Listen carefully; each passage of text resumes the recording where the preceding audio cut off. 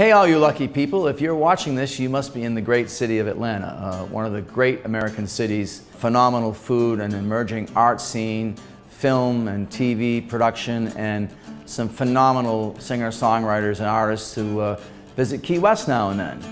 So I want to tell you about a little festival that we're having in May, where you may see some of your Atlanta natives down here performing. The Key West Songwriters Festival has grown into the largest such event in the world.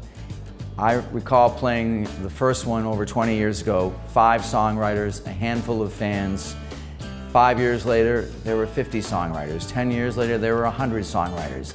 Now we have over 200 songwriters come to Key West for this festival, and essentially Nashville closes down and moves to Key West. The most amazing thing about this is how accessible these writers are. Being a songwriter myself, to hear these folks play their song, tell the inspiration for the song, the process of writing it, the collaboration with other great songwriters. And most every song you've heard on country radio for 20 years, you're going to likely see the people who wrote them at these events. Are Not only are they amazing songwriters, so many of them are absolutely stunningly talented performers. And after they're set, you can sit down and have a beer with these folks. One thing about Nashville and country songwriters is they are the absolute friendliest and most accessible people in the entertainment industry.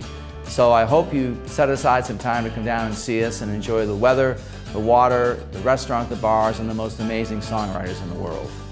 So I hope you enjoy your time in Atlanta, one of America's great cities, and you plan on coming down and see us here in Key West for the greatest songwriters festival in the world.